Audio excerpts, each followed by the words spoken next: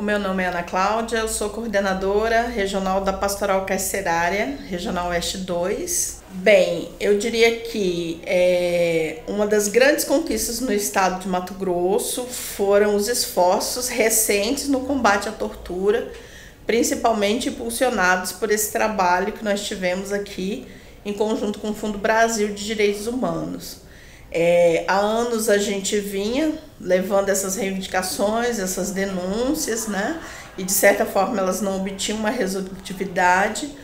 Porém, é, principalmente nos últimos dois anos, nós conseguimos lá em conjunto com o Tribunal de Justiça e a Defensoria Pública a formação de uma força-tarefa de combate à tortura onde a pastoral carcerária ela tem é, toda a entrada, né, pode participar de todo o processo, inclusive das audiências, e isso tem refletido de forma muito positiva no sistema prisional e nas políticas em benefício da pessoa privada de liberdade.